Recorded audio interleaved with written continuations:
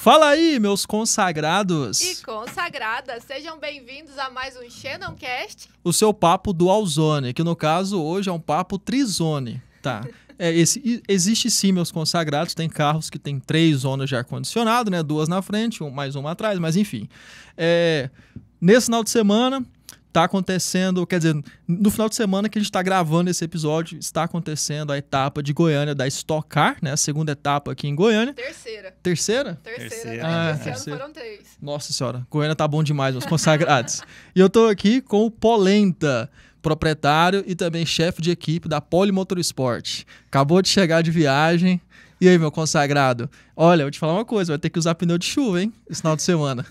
Olá, mu- muito obrigado aí pela, por poder participar com vocês aí desse bate-papo, contar um pouquinho dos bastidores e de tudo que envolve uma, uma corrida de Stock Car, né?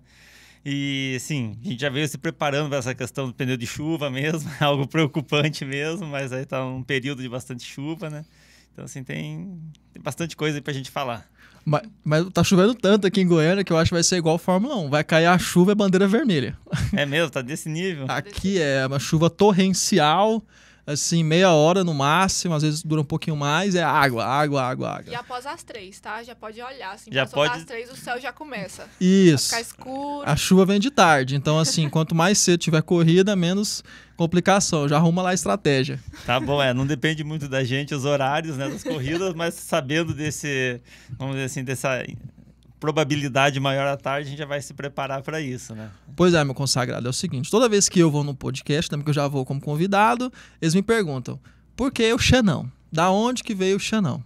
E no seu caso, é da onde que veio o Polenta? É porque o nome dele você nem falou, né? Jo é Joselmo Bar Barsic, como que fala sobre o nome? Joselmo Barsic. Barsic. Pois é, mas cê- será que ele quer que fale o nome? Como, qual você prefere? Qual que Ah, você não, prefere? já é no meio do automobilismo, né? Já é polenta há bastante tempo, já, já tem mais de 25 anos que é polenta, então já tá bem já tá bem consolidado esse apelido, né? Ah, e também foi o que deu é, assim um- o nome da Poli Motorsport, né? A gente fez aí um trocadilho entre pole position e polenta, então deu Ah. o Poli Então é por Motorsport. isso, que legal. Mas era polenta porque você fazia polenta pros seus amigos? Era o quê? Ah, não, isso logo que eu comecei, né? Quando eu comecei com automobilismo lá em 96, eu comecei como um, um garoto que não, não, não acompanhava nada de corrida, nada de automobilismo. Cheguei numa equipe, eh, tinha recém-formado no Senai, no curso de mecânica de automóveis, e comecei a trabalhar, assim, me disponibilizar a trabalhar, fazer o que precisasse na, na equipe de corrida. né? E aí, um dos mecânicos lá eh, começou a. Eu era mais gordinho na época, era mais cheinho. E aí falava, não, aqui mecânico nada, você é polenteiro lá, comedor de polenta lá do- das regiões metropolitanas de Curitiba, né? Lá tem, tem bastante pessoal que, que planta lá, assim, esses eh, colonizadores, Aham. colonos mesmo lá, né? Fala, "Ah, você não é mecânico coisa nenhuma, você é um... E aí foi ficando nisso, mas eu nunca, nunca fiquei muito incomodado com o apelido, eu sempre levei muito de boa, né, com tudo. E aí foi, foi, foi, de repente pegou de um jeito assim que muita gente não me conhece pelo meu nome no autódromo. Muita gente fala, ah, na equipe do Joselmo, quase ninguém sabe. Ah, no Polenta, é, todo mundo sabe. mundo sabe, né? Então foi ficando, isso que, que pegou, né? Então, Não, é massa mesmo. Eu também falo pessoal, não, não me chama de Hugo, não. É só Xanão mesmo. Xanão. Xanão, Polenta. Mas foi quando que você começou? 90... e- 96. 96. Qual que era a equipe? A equipe era Action Power, é do, do pai do Thiago Marques, do, Ah, Thiago do Marques Tarso? Marques, é o Thiago Ai, Marques que da NASCAR. legal. o Tarso Marques, que corria de Fórmula Sim. 1, ele correu na Minardi ao lado do Alonso, era companheiro do Alonso. Então foi bem nessa época que eu comecei lá na Action Power. Corria lá o Ingo Hoffman, o Xande Negrão, o falecido só Xande nome. Negrão, é, né? Só nome grande. É, e aí, assim, comecei a trabalhar com isso, já cheguei num- numa equipe ali que muito legal, assim, um ambiente muito diferente, tudo organizado, limpinho, e aqueles carros coloridos, né? Imagina, um moleque de 17 anos chegando ali para um negócio desse, é o sonho de muitos garotos, né? Trabalhar com isso, eu recém-formado. E aí comecei a me animar bastante com isso e já fui o primeiro cara que eu fui trabalhar, é o multicampeão da Stock Car, o Ingo Hoffman. Nossa. É, Você caiu numa equipe que só tinha, só tinha cachorro grande, né? Só, Só tinha gigante. nome, só tinha nome de peso do automobilismo nacional, né? Sim, sim, é. Então era. A equipe estava muito bem estruturada nesses anos. Ela foi tricampeã. Uhum. É, o Ingo Hoffman levou três campeonatos. No primeiro ano, eu era, eu era um auxiliar, eu fui, assim, eu era um ajudante do ajudante, eu ia me colocava à disposição para ajudar no- nos carros. No segundo ano, eu já era atuante no carro do Ingo Hoffman mesmo. E aí no terceiro ano também. Então, e eu sempre fui muito proativo, né? Sempre tentei fazer tudo que estivesse ao meu alcance, um pouco mais até do que era necessário. Isso foi me, me credenciando cada vez mais a aprender, a ter as Sim. oportunidades.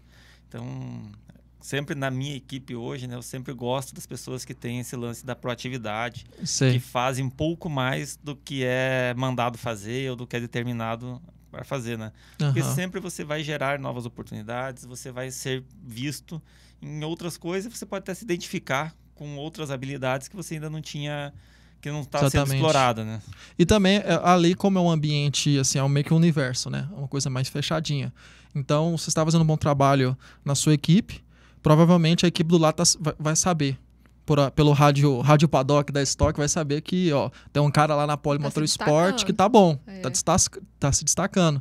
Aí, se o Polenta não segurar ele, pode ser que ele vai para outra equipe, né? Ah, sim, é. Isso é, é normal até de todo o mercado de trabalho, né? Acontece em todos os lugares, né? E assim, mas a gente faz assim, um plano mesmo de formar essas pessoas, de conseguir com que eles entendam a, a, a importância de cada um. né? Então a gente faz um trabalho bacana assim com todos os integrantes e para o pessoal se sentir parte da equipe mesmo, Sei. assim, não ser um, um funcionário, ser assim um integrante de uma equipe de performance que performa. Então a gente cria esse, esse ambiente dentro da equipe, né? Pois, pois é, aí você ficou quanto tempo nessa equipe? Então, é, até tem uma história assim que é até um pouco engraçada, né? Eu minha família não é de mecânicos, não tem tradição nenhuma no automobilismo, a gente não tem nada assim, Nada? nada a ver com mecânico, ninguém na família. E eu fui buscar isso, né? Então eu fui lá, fiz um curso de mecânico de automóveis através Mas como que surgiu essa vontade de fazer É. esse curso se não tinha Então, assim? foi assim, uma, os- a gente, um dia a gente estava com os amigos conversando, ah, apareceu um curso de mecânico de automóveis no Senai, vamos lá? Vamos, éramos em três amigos, fomos lá, fizemos a- o teste seletivo, fui dos três e fui o único que passou, né? Nem foi eu que indiquei, passei no teste, aí fiz o curso, é, não atuei na área, muita gente faz o curso no Senai na época, muita gente ia direto para as concessionárias. Sei. Então o pessoal ia para as concessionárias é, de todas as marcas, né? Então, assim, os formados, recém-formados, ou os alunos mesmo iam lá ser, é, iam fazer é, estágio nas concessionárias. E aí eu não fui, é, comecei a trabalhar com informática, é, fiz um curso de informática, imagine, 96, 95, 96, informática era Era muito nichado, né? era, muito assim, não tinha Era nada. o tela Era preta, raro, né? né? Era Tela só o comando no, é, de, MS no DOS. DOS, é, é. não tinha nada disso, né? Então eu já fui fazendo essa especialização ali. Pouca gente tinha isso. Que foi bom, né? Porque já era uma época que tava começando, ah, os carros começaram a ter injeção eletrônica, por exemplo, né? Modos eletrônicos. Exatamente. Tava saindo da. Os, os motores estavam sa... Os carros estavam saindo do, do formato analógico, né? Pro formato já é, digital. Eu tava vendo essa, essa, essa mudança, né? Essa, essa evolução. Então eu fui para essa área. Aí eu fiquei um tempo trabalhando com isso, até que um dia cheguei em casa de um trabalho que eu estava como digitador na Secretaria da Saúde de Curitiba, né? Imagina, nada a ver. Nada a ver. E aí meu pai, ó, tem um anúncio aqui de um auxiliar de mecânico e tal, você não quer ir ver? Aí eu falei, ah, vamos ver, né? Fui ver, procurei, cheguei lá, entrei nessa oficina, um ambiente muito legal. Fui todo empolgado, né? Ah, vou fazer a seleção, participei do processo seletivo, vou trabalhar com isso. Passei no processo seletivo, uma semana depois comecei a trabalhar, todo empolgado. Aí o pessoal falou: não, não, você não vai trabalhar carro de corrida. Você vai lá no fundo, vai trabalhar manutenção dos carros da frota, né? Assim, ó, tinham alguns vendedores. Eu fiquei, o quê? Não, não é, vou- é pra isso, a vaga era pra isso. Falei, ah, tudo bem, então. Não vai pro parque fazer de isso. diversões. É, fiquei lá na- nos bastidores. Mas o que eu fazia, né? De volta, assim, eu fazia essa minha parte lá, fazia a revisão dos carros, era revisão básica lá, é, trocar pastilha de freio, fazer essa troca de óleo, essas coisas normais aí que um, mecânico júnior faz, né? E aí eu me colocava à disposição na equipe de corrida. Então, assim, ó, tô com tempo livre, não quer que eu faça alguma coisa? Ah, vai lavar a peça do motor, vai à oficina aqui, vai lá na pintura e lixa uma peça, vai em tal lugar e ajuda não sei o quê. E eu sempre fui Sempre proativo também, né? É, então isso foi me dando várias é, habilidades, né? Então fui aprendendo tudo isso. Fiquei acho que dois ou três meses fazendo essa esse trabalho com os carros de rua, até que já fui trabalhar com corrida com a equipe de corrida porque viram que eu tinha potencial para trabalhar na equipe Massa. de corrida. Eu até vi no seu Instagram que eu tava olhando lá, você falou uma frase que eu fiquei guardei para mim, que você falou que o cansaço ele passa, mas a oportunidade não. Então você construiu ali o seu caminho que você queria. Isso é muito bonito. É, exatamente. Então assim, mas assim, mesmo nessa época que eu tô comentando aqui agora, eu não tinha a mínima noção que eu ia montar uma equipe, porque assim, é um esporte elitizado, é um esporte que envolve muito dinheiro. A minha família não é de pessoas que têm muito dinheiro, né? Então assim, a gente era muito distante para mim, era um universo muito longe, né? Aí eu comecei a trabalhar, é, até 99 fiquei na Action Power, passei em vários setores, aí a Action Power parou a, de, uma equipe, parou como equipe de Stock Sim. Car, uhum. teve uma, uma, uma separação, uhum. o Meinha, o atual Meinha, ele era o chefe de equipe, e aí ele também ele saiu e foi montar a estrutura dele, pegou alguns dos mecânicos, tipo, a Action Power fechou e parou e demitiu quase toda a equipe. Segurou eu e mais duas pessoas. Eles tinham algum outro projeto para nós, mas esse projeto não estava andando, eu estava fazendo uma coisa que era totalmente é, fora do ambiente de corrida, estava lá desenhando rótulo de inseticida no CorelDRAW lá. Então, assim, nada a ver, né? E aí eu ah, eu quero corrida, fiquei fazendo aquilo, não sabia quais eram os planos, talvez muito jovem, uhum. não soube esperar e assim, ah, não, desse jeito não quero, não vou continuar. Aí apareceu a oportunidade de trabalhar com os Fórmula Júnior, que estava sendo montada uma categoria de 99, uma categoria de Fórmula Júnior, que ela não durou muito tempo também. Eu fui montar esses carros e nisso o Menha estava estruturando a equipe dele. E ele ficou me procurando ali para trabalhar com ele, né? Então, assim, tem algumas coisas legais, né? Assim, eu estava na Action Power, lembro hoje, assim, de números, eu tinha um salário de 380 reais na época. Né? Nossa. Né? Aí eu fui para trabalhar na montagem de Fórmula Júnior, assim, no primeiro mês eu acertei lá por 600. Bom demais. Viram, viram, que eu tinha capacidade, no segundo mês foi 900. Nossa. No terceiro, 1.200. Falei, nossa, Rapaz. já, já, imagina, já dobrou o salário em três meses. E aí, conversando com o Meinha, assim, a gente acertou na época, assim, para eu ir trabalhar para ele por 600 reais. Entendeu? Então, assim, eu tive que, naquela época, muito jovem, eu tive uma escolha que mudou fez, a minha é, vida. Você né? fez uma então, escolha pensando no futuro, né? Um projeto, você apostou no projeto é, dele. Eu apostei em algo, assim, é, não, não diria uma aposta, mas assim, acho que eu, eu, tive aquela, aquele sentimento de que era o certo a fazer naquele momento, mas eu não imaginava que ia ter um crescimento tão grande, que hoje estaria aqui como dono de equipe, né? Mas tudo isso foi acontecendo. Então, assim, a gente, às vezes, a gente faz algumas escolhas, nem sempre o, o, assim, o imediato ali é o mais certo, né? Assim, hoje eu estou muito feliz com a posição que eu estou, onde eu cheguei, onde eu estou, o que eu estou planejando ainda para frente. Mas, assim, teve um momento que eu tive que optar. E imagina, mulher, 17, 19 anos, fazer uma escolha dessa, vou ganhar metade do que eu estou ganhando. E... Você estava com 19 anos naquela época ainda. É. Então, sabe, é, eu vejo assim que parece que sim, algumas coisas foram se encaixando e eu fui optando pela tomando as decisões certas, né, e optando as coisas que hoje me colocaram aqui. E lógico, mesmo assim nessa época ali, que era isso era o ano 2000 quando começou a equipe do Meinha.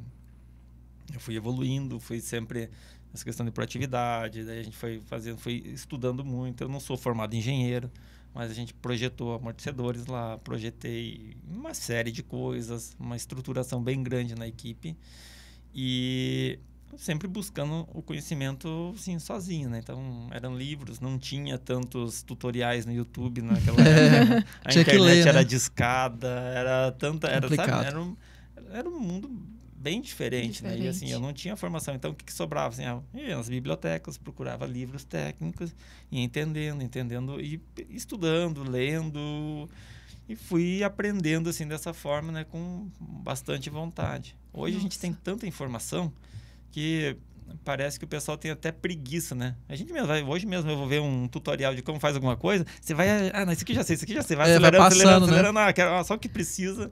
Então É você acaba jeito. não Aqui, ó. aprendendo, você resolve, mas não aprende, né? A psicopata do 2x. Eles, do nada pega um seu, abre o vídeo no celular dela, tá 2x. Você fala, meu Deus do céu, você quase, quase, quase explode. né?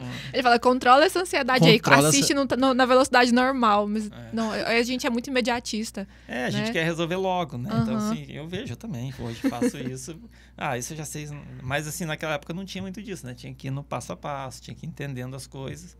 E aí isso foi, foi ganhando, assim, esse espaço.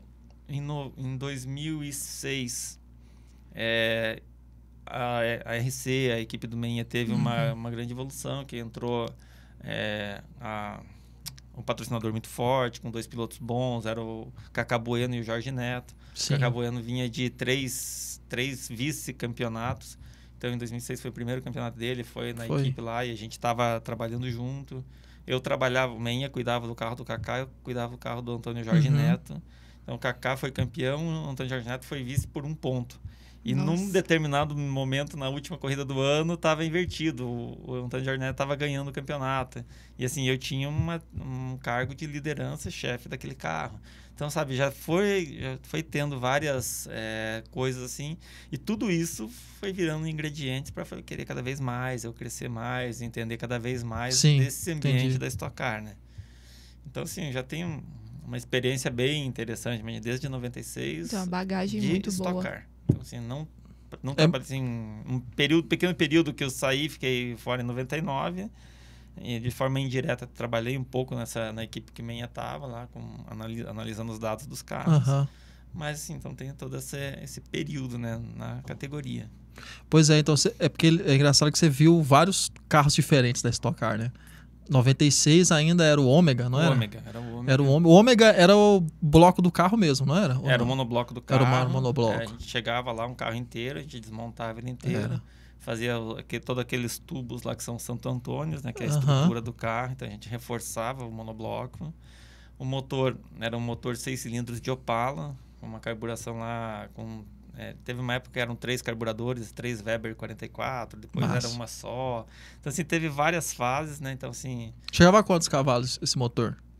esse motor chegava, acho que beirava aí uns 370, 390 cavalos. 370, né? É. Isso é aspiração natural. Aspirada. Nunca Aspirada. foi turbo, né? Nunca teve essa. É muita coisa, né? Porque o original, se não me engano, é um 140. Acho que por aí, né? É. Seis cilindros aí. Olha eu aqui, eu, 140. eu, eu não É. entendo, tá? Eu tô aqui aprendendo agora. É tipo assim, você dobrar a potência, mais que dobrar a potência do motor, sem Sim. colocar um turbo nele. Então, assim, é um trabalho muito, muito foda. É, sabe? havia muita dedicação, muito Nó. estudo. Tem um regulamento que era, era bloqueava muita coisa, né? Então, assim, tinha que ficar procurando mesmo. E era legal, né? Então, assim, uma das funções que eu tive lá na Expar foi na seção de motores, foi aprendendo a fazer motores, entender né, a diferença de folga, de cilindro, de todos esses detalhezinhos. E eu sempre gostei desses detalhes. Então, é, a gente aprende isso, você vai vendo né, o quanto os detalhes são importantes. Né? Às vezes, ah, Sim. é muito fácil conseguir potência. Enfia um turbo Aham. lá, mete pressão, você consegue potência. Mas e para conseguir de uma forma mais controlada, né? Um pouquinho a mais, o que, que se precisa Exatamente. fazer? né? Então, são essa con- condição de detalhes, de... É, é só- são aqueles detalhes assim, é, é meio por cento que você consegue aqui, mais meio por cento que você consegue ali. Você junta todos esses meio por cento, aí de melhor. repente o sua equipe tá dominando e o, o pessoal vai e fala: "Ah, mas carro tá fazendo maracutaia", entendeu? É. Ah, tem alguma coisa de errado. Ah, o- esse piloto não é tão bom assim. Tipo assim, essa- é- ninguém vê o, a- essa Por soma de todo o fatores, trabalho que tem né? ali também, Sim. né? Esse trabalho minucioso, né? É, exatamente. Assim, o qualquer carro. de corrida, assim, e a gente vai aprendendo cada vez mais. Hoje eu penso, né? Se o conhecimento que eu tenho hoje, se eu tivesse isso há 10 anos atrás, né? A quantidade de, eh, de itens, de evoluções que a gente fez. Então, assim, foi desenvolvendo né, nesse período e não para. A gente continua pensando coisas novas. De uma corrida para outra vem coisas novas, a gente testa coisas novas. Então, assim, a gente está sempre automobilismo você não pode ficar parado, né? Você não, Não. pode é, executar o mesmo que você fez na corrida passada, vai faltar alguma coisa. Ah, mas eu vim aqui para Goiânia, andei super bem ano passado, a penúltima etapa do ano passado aqui, a gente fez, é, fez uma dobradinha. Uhum. O Atila ganhou a corrida, o Suzuki foi segundo. A gente tava Foi, lá. a gente tava lá. Ah, Então, assim, ah, voltamos para esse ano, não acontece a mesma coisa. Você tem um histórico, você tem várias coisas, mas assim, sabe, é muito dinâmico, muita coisa acontece. Então, assim, é, tem que estar sempre se atualizando, sempre buscando tem novas. igual, agora vamos, são três etapas, então cada etapa é uma, é uma forma diferente. O jeito que você prepara o carro é diferente. É, a gente traz assim uma, uma, vamos dizer assim, uma receita, um setup Entendi. básico e vai trabalhando em cima daquilo. Mas assim, como a gente falou aqui no começo, né? Ah, tá preparado muita chuva. Uhum. Então assim, a chuva, a pista ela vai mudando. Ela é um, ela não é a mesma pista que a gente vê nas outras. Ah, pode ser que estava mais quente, tinha mais vento, Uhum. tinha, agora tá chovendo mais. Ah, andou outra categoria, tinha mais borracha. Então sabe, tudo isso vai mudando e a gente precisa entendendo com os poucos treinos que tem, você se adaptar a isso e tirar o melhor resultado naquele final de semana. Entendi. Então é, ah, ganhei a corrida passada aqui, venho com o mesmo carro, você tá a mesma pressão de pneu, tudo igual, vai ganhar? Não, provavelmente não vai funcionar. Muda muito, assim. É de um dia pro outro, muda. Por exemplo, chega na, um exemplo básico, né? Na Fórmula 1. Tem lá no final do ano, tem lá o. Tem uma corrida de Abu Dhabi, né? Termina em Abu Dhabi. E aí, na segunda-feira, já tem teste. Sempre tem, já tem teste de pilotos e tudo mais. Aí na segunda-feira, um cara lá, novato, nunca correu, vira um temporal, um segundo mais rápido do que a pole da corrida que foi a- no sábado. Aí fala, meu Deus do céu, ele é um fenômeno. Mas não. É segunda-feira, é completamente diferente. É outra pista, é, outra então, situação. pensa, coisas simples, assim, ó. Após uma corrida, todos os 20 carros lá, quase 20 carros andando, emborrachando a pista, Exatamente. condição, aí pega no outro dia, a corrida é no horário que a pista está mais quente, você Uhum. vai treinar no horário que a pista está mais fria. Então são uma série de fatores que Entendi. você precisa se adaptar e isso vai, vai mudando. Então a gente tem que estar sempre muito atento a essas mudanças, né? mudanças climáticas, é, a pista, a condição da pista. Ah, várias categorias andaram. Entrou uma categoria com pneu com composto diferente, pode ser que mude a aderência da pista. Então, sim, tem vários detalhes né, que a gente precisa ficar atento. Então, a gente faz um, um prepara uma preparação pré-etapa, uma série, tenta mapear tudo. A gente consegue muita coisa, mas na hora ali é o carro indo para a pista que você começa a entender o que pode funcionar e o que não pode. Entendi. E você estava falando sobre a equipe que você estava trabalhando junto com o MEI. E quando que surgiu essa vontade de, de é, faz- abrir a, a Polimotorsport, de Então, fundar a equipe? É, eu- por bastante tempo, né? Eu fiquei, fiquei na equipe do Meinha, foram quase 20 anos lá. Foi desde 2000 a 2020. Fui tendo essa evolução que eu falei, fui crescendo, evoluindo. Então, assim, foi é, engenheiro de dados de telemetria, fui chefe de um carro, engenheiro de um carro, chefe dos mecânicos, chefe de equipe e fui crescendo dentro da equipe. E assim, mui- tive muitas ofertas de trabalho nesse período para ir para outras equipes, que até eu mesmo assim, não imaginava é, a- o nível que as pessoas me conheciam, né? Eu mesmo não imaginava assim, tanto assim, que eles já estavam olhando para mim. E eu tive várias ofertas, eu sempre avaliava, ia, não ia, e, mas acabava ficando lá porque via que era um trabalho, era algo que estava que tava funcionando, né? É, até que chegou um momento que eu comecei a pensar, eu acho que assim, eu gostaria de ter uma oportunidade maior, cheguei a propor para mim se a gente poderia ser um ser sócio de alguma forma, que eu tinha vontade sim de, de ter um negócio e de eu tocar do, do meu jeito também, né? Ou um pouco mais do meu jeito, né? Sim. E aí, é, o Menha não quis é, fazer esse tipo de, de acordo comigo, não quis fazer dessa Uhum. forma. Eu fiquei com essa vontade, esse desejo. Aí em 2020, é, de 2020 para 21, era novembro de 2020 mais ou menos, o Atila é, me ligou, recebi uma ligação, até achei meio estranho, nunca tinha tido nenhum contato com ele, né? Ó, assim, assim, eu tô tô planejando eu sair da equipe que eu estava, tô indo para uma outra equipe e gostaria que você fosse trabalhar comigo nessa outra equipe.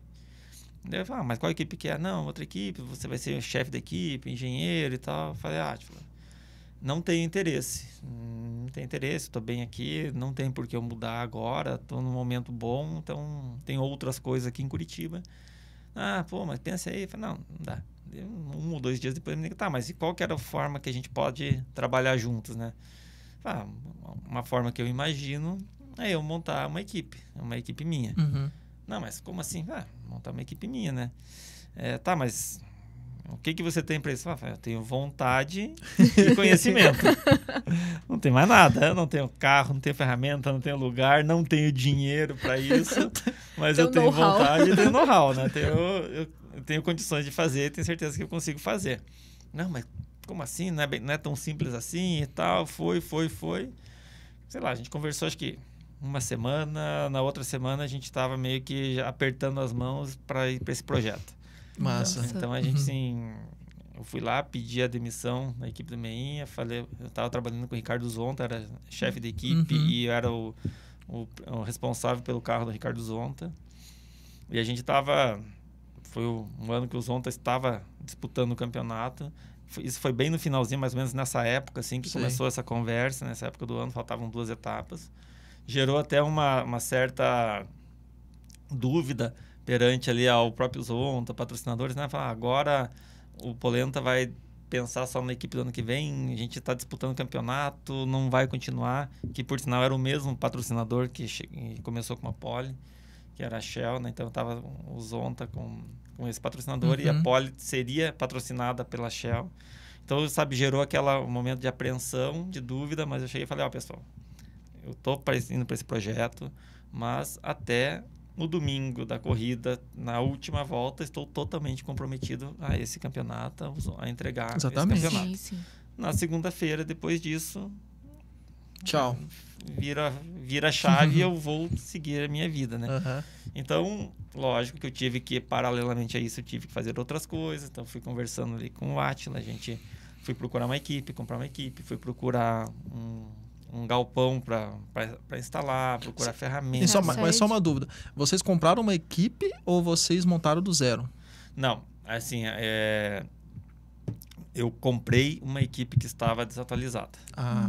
Ela estava fora do campeonato, que não tinha vagas, assim, não era, não é simplesmente eu comprar carros e botar. Então, assim, uhum. tinha que dar sequência em uma das equipes que já estava. Então, fui lá, comprei essa equipe, é, montei, o Atila me ajudou, assim, ele é, aportando um pouco, antecipando o recurso do patrocínio. Sim. Porque até assim, o patrocínio, essas grandes empresas começam a entrar só quando começa o campeonato, começa a entrar o dinheiro. Então, tanto ele quanto o Galide, que eram os dois pilotos, anteciparam uma parte do valor para eu usei algum recurso meu também, somamos tudo, compramos a equipe e começamos a, ah, a show montar. De bola. Ah. Então, assim, é, e aí foi esse processo, né? Assim, e na medida que eu ia recebendo do patrocinador, eu ia devolvendo pro Atila, ia pagando ele, até que a gente quitasse toda essa essa esse empréstimo, né, que ele fez e esse apoio que ele me deu no começo. Nossa, Mas desde o início ele não tinha interesse em ser meu sócio, eu não te, eu também não tinha interesse em sociedade, porque assim, eu quero fazer do meu jeito. Se for para eu não fazer do meu jeito, não me interessa, né? Então, Massa.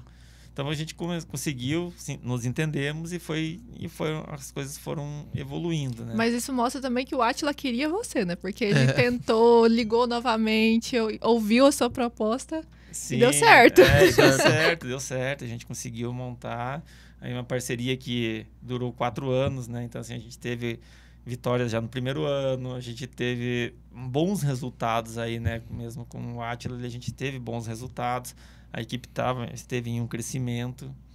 No ano passado, a gente já chegou aí disputando o campeonato com o Rafael Suzuki, então ele chegou na última etapa ali com chance de campe ser campeão. Esse ano o Júlio Campos também está desde o início do ano sempre entre os primeiros com chance Sim. de campeonato. Então... Ele assumiu a liderança aqui em Goiânia, né? Goiânia Foi. dá sorte. É. Chegou a liderar o campeonato. Exatamente. Ele estava, então, assim, o ano todo entre os primeiros do campeonato.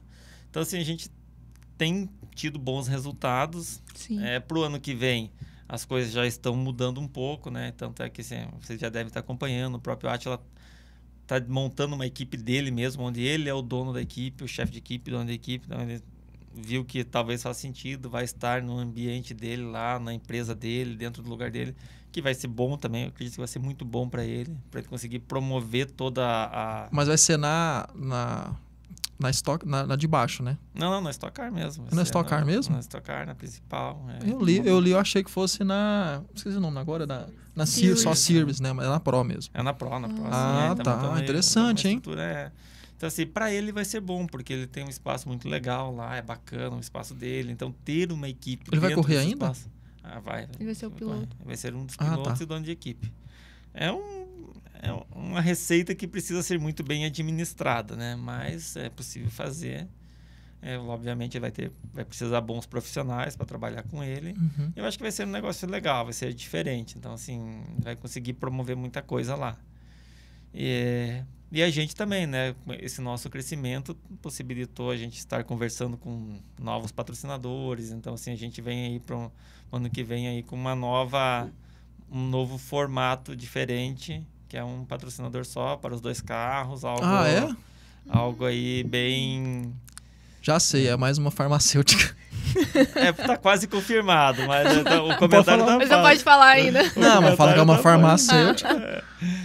É, então, assim, a gente está indo para esse projeto, as coisas estão começaram a encaixar, então, assim, eu estou bastante contente com isso, né? É um sinal de evolução da equipe, de um crescimento de uma forma geral, né? Então, É bom, um patrocínio master desse jeito é, é, é muita. consolida mesmo. Fala assim que o trabalho tá, tá muito bem feito. Exatamente. Então, isso-. É, muita gente procura isso, né? E não é fácil você ter assim, um um parceiro forte que acredite, que você fique ali, assim. É, sempre quando a gente faz a gestão de uma equipe, né, tem uma série de, de pontos. Então, assim, tem que ser o, o chefe de equipe, tem que ser o engenheiro, tem que ser o, o financeiro, tem que ser o administrativo, tem que buscar patrocínio. Então, tem uma série de coisas, né? Agora, com isso, é, fica muito mais tranquilo a pensar no que vem da minha raiz mesmo, que é pensar no carro, pensar em performance, pensar em, em coisas que dão retornos na pista. Né? É, porque assim, você é chefe de equipe, né? Então, assim, o seu proprietário também é chefe de equipe. Mas o que envolve o seu trabalho no dia a dia de um chefe de equipe? Assim, quando você chega lá, lá na fábrica, lá no galpão de vocês, segunda-feira. Por exemplo, Semana Segunda-feira. sem corrida. Se- Ou não? Como que é? Um, eu É, tenho- eu tenho interesse cara, em saber como como, que é é? quando Você não chegou- tem uma corrida assim no próximo Isso. final de semana, esse bastidor. Não, a gente tem trabalho, trabalho o ano todo. Então, assim, a equipe trabalha o ano todo, tendo corrida ou não. É sempre, a gente faz um calendário e começa toda a preparação. Então, assim, a gente ah, chegamos de uma corrida, é, descarrega o caminhão, começa a desmontar ali os carros e começa a planejar as revisões. Ah, faz uma reunião do que deu certo e o que não deu certo na etapa passada e começa, assim, ah, o que deu certo a gente grava bem e o que não deu certo trabalha para corrigir. Então, assim, é o tempo todo bastante trabalho, né? Então, eu chego lá de manhã, faço a reunião com os, com os mecânicos, engenheiros, definimos o trabalho. E aí começa... Eu sempre fico muito tempo em cima ali do carro, olhando, analisando, procurando detalhes. Sabe aquela, assim, aquilo que falam, né? Que o, que o, o olhar do, do dono que engorda o gado. É, fala muito aqui em Goiás. fala muito aqui, né? Fala. Mas é bem isso, é você estar ali, você a gente consegue perceber e assim, você tá dedicado àquilo, analisando aquilo, faz você enxergar detalhes que até os mecânicos ficam, nossa, mas como que eles conversam entre eles? "Ah, mas Como que ele viu isso, né? Sabe, você chega assim, olha o cara, não, esse negócio tá torto. Não, não tá. Você mediu? Ah, é. Sabe quando o cara dá aquela Sim. titubeada e fala, vai lá e mede. Ah, mede tá torto. Então, sabe, aquela, aquela questão do olho tá, tá bem preparado para isso, né? Pode falar, Pode sabe? falar. Teve um dia que o Polenta viu que tinha alguma coisa errada assim em cima do carro, ele viu por causa da transmissão. É uma coisa que todo mundo ficou assim, mas como é que você foi que você viu isso? Você viu pela transmissão? É, eu vi numa, numa imagem ali que, olhando o vídeo, eu vi assim, ó, tem alguma coisa errada no carro, né? Tem, tem aquele, aquela escotilha que é pro piloto sair do carro, né? Pra sair rápido em caso de acidente. Aham. E aí eu vi, nossa, aquele negócio tá meio estranho. Não, não é sombra aquilo, né? Eu comecei a buscar, na transmissão eu vi, comecei a buscar fotos e vi, tava abrindo aquilo, assim, ela tava, por causa da pressão do ar ali, né? Tava abrindo um pouco e, e entrando no ar pra dentro do carro. E isso, obviamente, atrapalha na parte aerodinâmica, né? Então você pensa, mas chegava no box, tava fechadinho. O carro saía do box, tava fechadinho. Mas na pista, andando em velocidade, abria. Ah, E era algo prejudicial, né? Então, E só você viu. Ah, eu conseguia... Todo mundo tava olhando, né? Mas talvez não é, mais de prestando 20 atenção, anos de experiência, né? Não, mas eu tô falando assim, a questão Não, é que só- só ele. Porque assim, é, é uma coisa que só o dono. É. Quando você é dono, você tá. Você sabe. você vê com mais carinho, é incrível.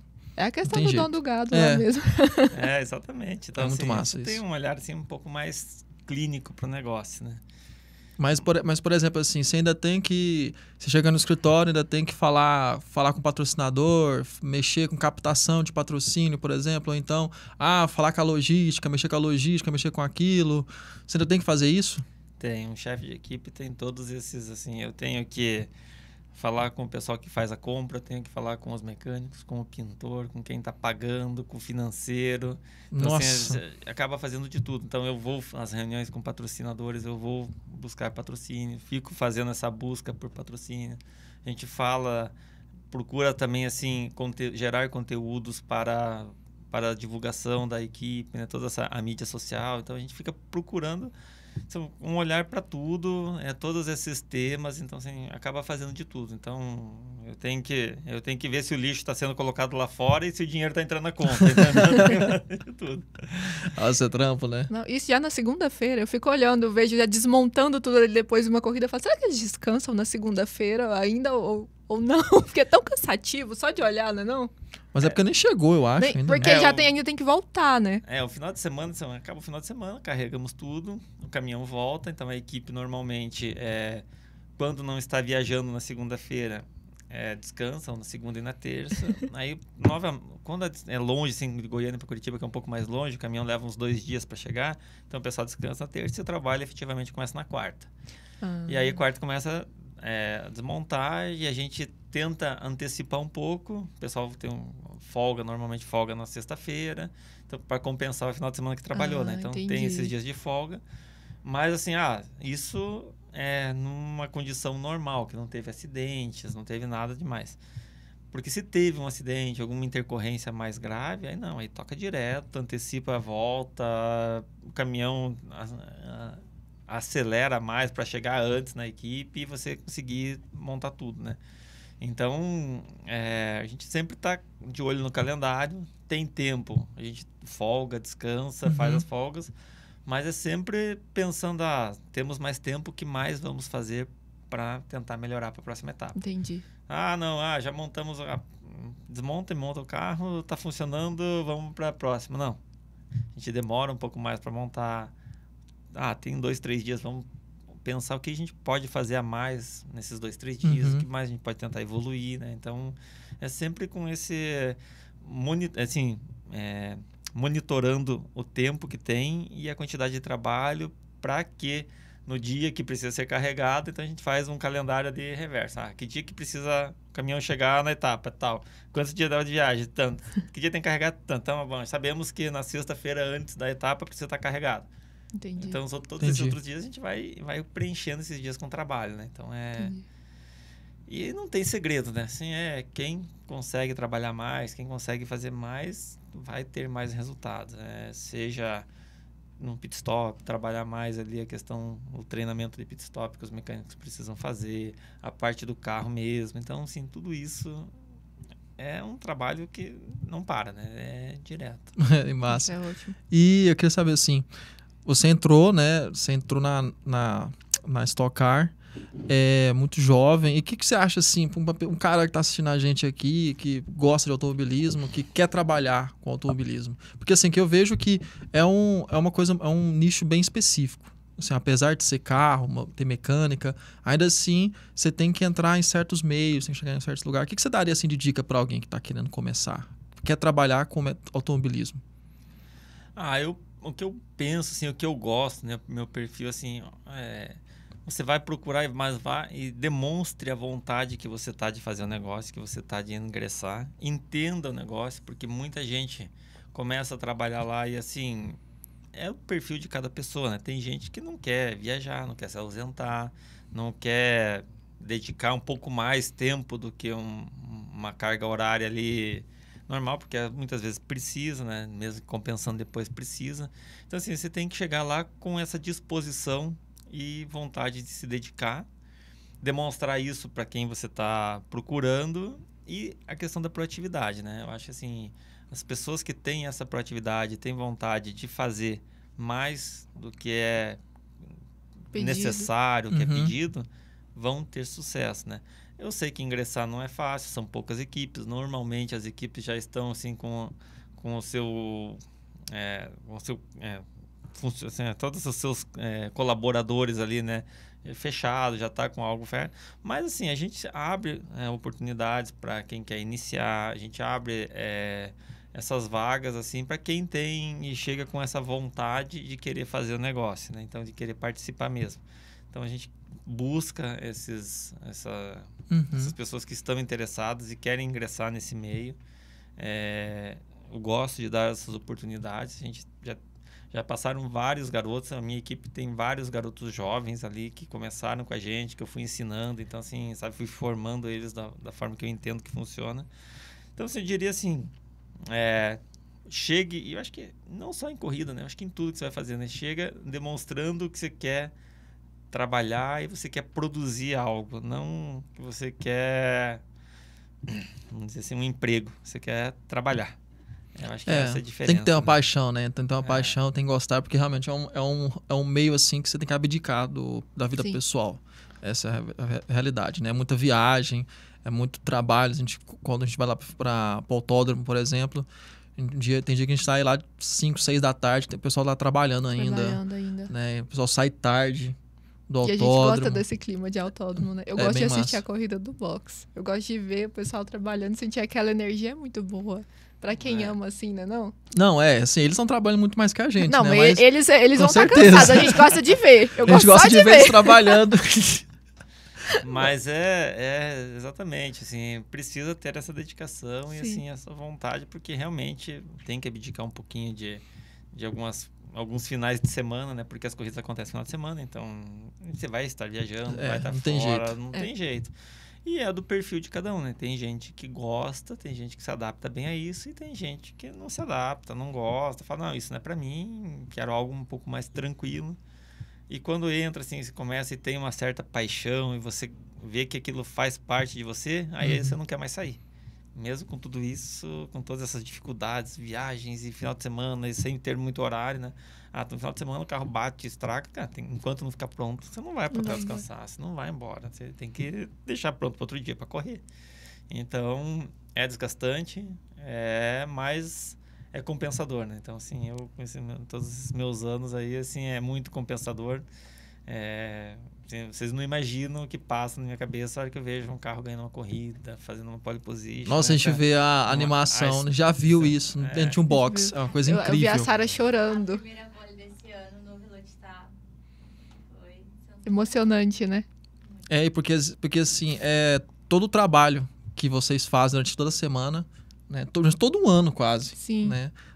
É recompensa resultado ali, ali. aquela recompensa ali, né? Aquele resultado. É. né? E o mais doido é que, tipo assim, você faz a. Não, não é jogando, não é acabando com o clima, não, mas tipo assim, você faz a pole no sábado, todo mundo feliz, e chega no domingo, é um desastre.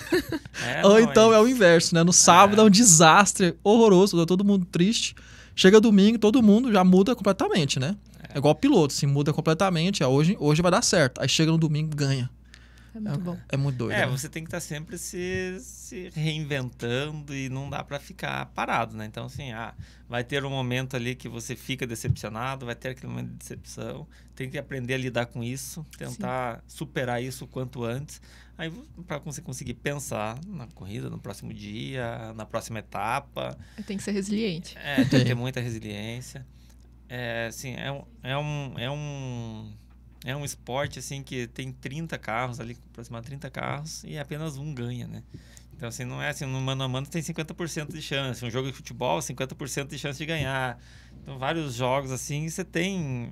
Qual que é a chance? Uhum. É 50%? Lá não, lá a chance é muito pequena de ganhar, né? Então, assim, é muito mais frustração do que alegria. É muito bom. é muito mais, assim... então- Automobilismo é um esporte bem, bem cruel às vezes também, né? É muito, muito trabalho pra às vezes você numa largada é, acabar com o seu final de semana inteira porque outro piloto bateu, né? Errou e bateu.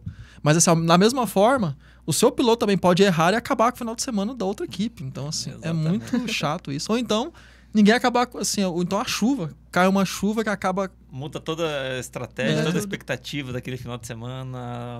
Você pode Você tava com um foguete na mão. O carro tava um no foguete. seco, Mas. aí é, chove, já não é mais a mesma coisa, outro vira muito melhor, ou outros viram muito melhor, então o carro cai pra trás. Aí dá um e- safety car também. Acho que é por isso que É. o automobilismo é tão emocionante, porque a gente é uma coisa incerta, não- você não sabe o que você vai esperar da corrida. Tudo É. pode acontecer. É, não é muito lógico, né? Assim, exceto quando a gente via lá ano passado, né? O Verstappen, né? Bull que ganhou quase todas as corridas É. do ano, né? Mas esse ano já tá totalmente diferente, né? Tá então, mais assim, competitivo. é, Stock Car é muito competitivo, então não dá pra você falar assim, "Ah, quem você aposta que vai ganhar essa corrida que é de sábado ou de domingo? Eu diria que não será o mesmo carro que vai ganhar as duas, então é quase certeza que não vai ser o mesmo carro. Espero estar errado e que seja um dos nossos É. carros, né? Vamos torcer. É, vamos torcer. Mas assim, é. Então a chance, as probabilidades disso acontecer são muito pequenas. Eu não arriscaria. Tem ali, tem 10, 15 pilotos que estão. que têm é, total condição de ganhar uma ou outra corrida. Então, assim, é, qualquer um desses carros podem ganhar uma corrida ou outra. É, Então, então é muito importante também a consistência, né, hoje em dia, na Stock Car, né? É, exatamente. Hoje, assim, é, nem sempre ganhar uma das corridas é o melhor resultado para um final de semana. Isso. Às vezes a gente faz algumas contas ali que você abrir mão de ganhar uma corrida do sábado para conseguir na estratégia você marcar mais pontos no domingo e na soma do final de semana você conseguir mais pontos é muito mais importante, né, Mais para o vantajoso. campeonato.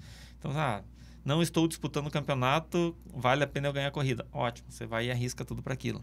Não, estou dispu- eh, agora sim, estou disputando o campeonato. O que, que eu preciso fazer para somar o maior número de pontos e decidir lá na última etapa? Então a gente fica fazendo todas essas, essas equações para saber que às vezes abrir mão de um pódio, fazer um quarto, quinto lugar na corrida de sábado e conseguir de volta repetir um terceiro, quarto, um quinto na corrida de domingo é uma pontuação excelente. Você pode fazer muito mais pontos do que alguém que ganhe uma corrida ou outra, né? Então a Uhum. gente trabalha muito com essa com essas equações e, tem- e o nosso objetivo aqui hoje, esse final de semana, é de somar o maior número de pontos e chegar na última etapa Interlagos com o Júlio Campos disputando o campeonato. É, chega. Interlagos, aí é. Seja o que Deus quiser. Deixar a Sim. magia de Interlagos fazer o trabalho O dela. trabalho dela. Mas assim, eu queria saber muito sobre uma coisa. Como que vai, como que tá sendo a preparação e como vai ser para ano que vem? Porque já ano que vem já são os carros novos, né? 2025 Os SUVs. são os novos, é, SUVs, né? nem, nem, nem os de rua são SUV. Mas imagina os de corrida, mas enfim. Porque são bolhas totalmente novas, são bem mais leves. Eu vi que tem até sistema de DRS, né? Ou DRS, né? DRS, tem. O Ele é motor bilíngue. também é novo, né? Motor 4 cilindros, turbo. Parece que o carro também é mais sofisticado. Como que fica assim? A preparação e também a questão de custos. Eu queria saber muito sobre isso, questão de custo. Piorou, assim, assim tá mais, vai, vai ser mais difícil? Tá, é muito mais caro esse carro, a motorização e tudo mais? É, tá vindo, é um, é um projeto novo, né? Stock Car tava, já tá, esse carro já está há quase 20 anos aí, né? 15, pelo menos 15 anos esse modelo de carro na, correndo. Então, assim, é um projeto que já está ultrapassado, estava precisando dessa modernização. Uhum. Então vem esse carro aí com um conceito novo, que é um carro mais leve, um motor menor, uma, uma potência similar, um quatro cilindros turbo. É tudo novo, a gente ainda não recebeu esses carros, ainda não recebeu os projetos. Eu acredito que isso deve acontecer aí nos próximos meses, aí dezembro, janeiro, deve começar a receber isso, para a gente começar a estudar tudo o que esse carro vai ser, né? A expectativa assim, é um carro com muito mais interação com o público, então assim que as câmeras on-board vão ter ali, vai ser possível ver a câmera on-board de todos os carros no aplicativo, Hum, dados de telemetria, é, sabe? Então muito mais interação com o público. É quase um F, igual no F1 TV. É. né? É, Porque- a ideia, a É. ideia é, é bem essa mesmo. assim. vai ter um aplicativo ali onde que se você é, for é, acessar, assinar o premium, você vai ter acesso ali ao rádio de todos os carros. Ah, Que que, massa. A, te- a telemetria, on-board, câmera on-board. Então, sabe? é, e vai ter uma série de, de facilidades. A própria votação do FanPush vai ser através desse aplicativo. Então, assim, já foi lançado recentemente esse aplicativo. E isso, então, assim, é buscando assim, essa interação maior com o público, né?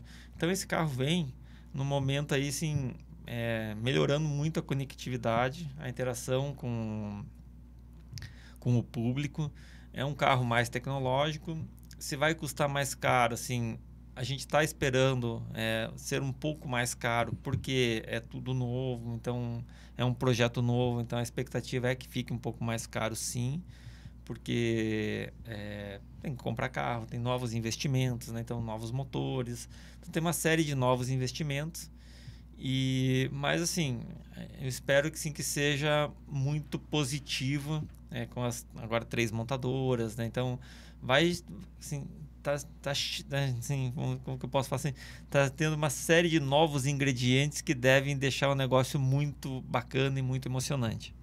Ah, show de bola. Eu, espero, eu até tava falando, você falando dessa questão da interação com o público, uma coisa que eu assisto às vezes a estoque, eu não eu, eu gostaria que tivesse era a distância em tempos entre um carro e o outro. Eu fico às vezes sem conseguir ver, né, sem entender, igual tem da Fórmula 1, né, da, da distância. Então acho que esse aplicativo vai ser muito bom, já vou baixar para acompanhar sim, ano que sim, vem. É, exatamente. É, a, a, assim, a intenção é que tenha muito mais essa.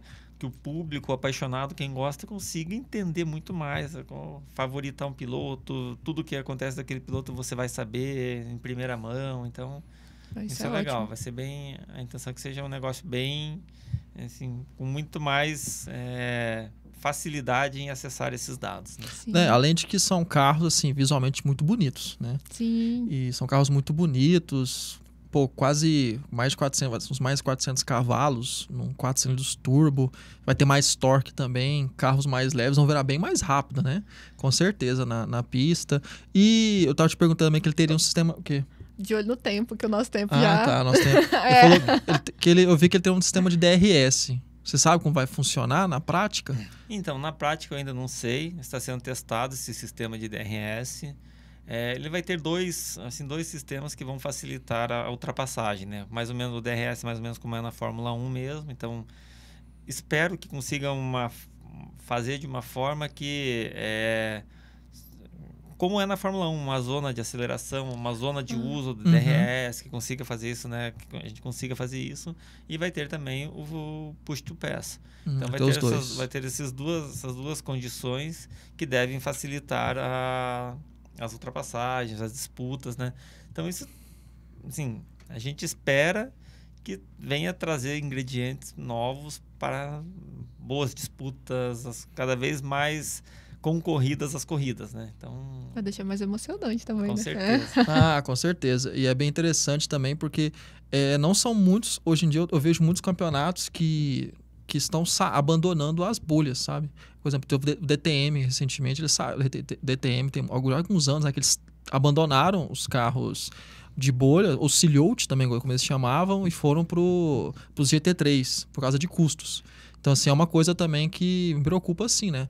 Que a Stock Car conseguir se manter né, no patamar que está, conseguir, conseguir se manter com as equipes saudáveis também, com um carro que é um carro específico, né, um carro que só corre na Stock Car, é um carro que tem os seus custos ali e que vai mudar totalmente e que eu tô muito eu tô, eu tô bem animado, porque assim, o carro ficou muito massa, ficou muito bonito e assim, tem um esmero bonito, assim, mas é tipo o naipe, você vê o a, do Japão, a Super GT do Japão, né? Que os carros assim bonitos, é, carros bonitos, bem feitos, bem né? feitos é. e tudo mais. Então, vai ser bem interessante. Mas o melhor ainda é as equipes se manterem saudáveis financeiramente para ter um show bonito, né? Com um grid bem cheio. É, exatamente. Isso é muito importante, né? Que a gente consiga aí ter aí vários carros no grid, então um grid cheio, isso faz toda a diferença, né? É, eu acho assim, com a vinda dessas das três montadoras aí, né? Então, é, mais uma, é montadora, mais uma montadora Mitsubishi. Mitsubishi entrando. Então, assim, tem uma série de coisas que vão. É, que acho que vão, assim, vão incrementar o negócio, né? Então, acho que toda essa interação, o carro, novidade, um carro quatro cilindros, um SUV. Então, assim, tem muita coisa legal aí que deve acontecer, vários desafios para nós, né? Assim, como equipes também questão de custo, questão de performance, todos os estudos, tudo que um carro novo pode fazer. Então, assim, quem conseguir ali se preparar antes, com certeza sai na frente logo de cara, né? Então, a experiência conta muito, né? É, Por exemplo, igual a sua experiência Aí. aqui, você pegou vários carros diferentes, né? Igual no começo começou. Você pegou o Ômega, você pegou depois o começo do Vectra, e aí mudou a bolha, né? Acho que foi 2010, É, que é teve essa o atual. Ômega, teve o Vectra, teve o Astra, Teve o Astra, teve Bora, né? teve o Bora, Teve teve, o Peugeot, o não Mitsubishi Eclipse, teve É. o Peugeot. Não, era o Mitsubishi Lancer. É o Lancer, o Lancer, é verdade. Mas é uma coisa mais estranha, porque É o Lancer, ele nem vendia aquele Lancer no Brasil e tinha ele, sabe? É. Eu achava muito estranho na época. Mas era bonito, era o mais, pra mim era um dos bolhas mais bonitos que teve, o Lancer. É, mas teve uma série de carros. a Bora. aí. E então assim, nem todos eram o próprio carro, né? Muitos Sim. eram a bolha ali do modelo, mais ou menos como é esse projeto de agora, né? Mas sim, eu espero e a expectativa é que seja bem bacana, bem emocionante Tem- mesmo. Não, a vai, gente vai ter ar-condicionado esse carro ou não? Ah, não.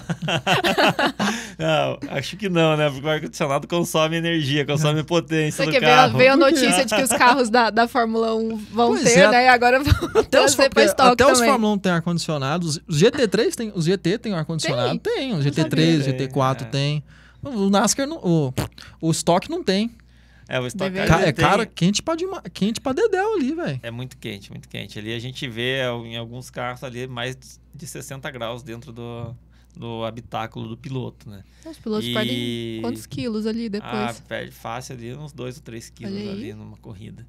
Mas tem um dispositivo ali que é um ar-condicionado, não pro ambiente todo, mas só pro piloto. Então, assim, ele é- entra no capacete, um tubo ali com ar fresquinho, então ele consegue respirar um ar mais fresco e se manter um pouco mais, mais geladinho ali. Mas é, é bem pontual, né? O carro mesmo, assim, no projeto do carro não tem, não tem ar-condicionado. Ar-condicionado. É isso aí. A gente tem mais tempo ainda? Tem mais. Então- O nosso tempo acabou. Acabou? Acabou o nosso ah, tempo. Foi tão, foi tão rápido. Quando o papo é bom assim, a gente vai aprendendo Pois é, eu queria falar muito. passa muito rápido. Per- perguntar até mais coisas, só que é assim mesmo. O tempo do cara é escasso nos consagrados, porque hoje é, é quinta-feira, então hoje já começa tudo, né? Por exemplo, fala aí sua agenda de hoje, só gente saber. Então, hoje a gente chegou aqui, eu cheguei no autódromo umas 10, 10 e meia, já começamos a fazer ali a reunião, ver como estava toda a montagem, preparando os ajustes ali de setup dos, dos carros, né? Tem, analisando a condição climática, tempo. Então, assim, vou fazer a reunião com os dois pilotos, vamos definir ali o plano de treinos.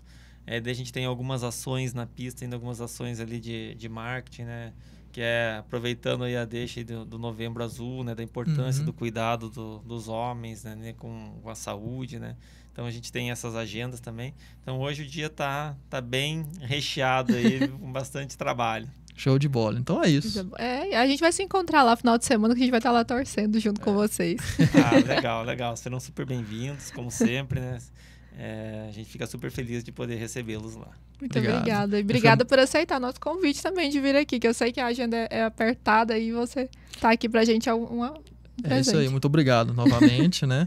E então é isso aí, meus consagrados. Uma pena terminar agora, né?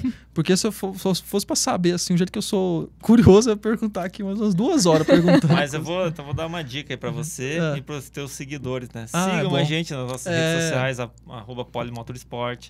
A gente está sempre colocando conteúdos, a gente está aí com um projeto de colocar cada vez mais bastidores, coisas de oficina e criar bastante coisa. Então, assim, a gente vai, vai trazendo todas essas informações, todas essas dúvidas que vocês têm.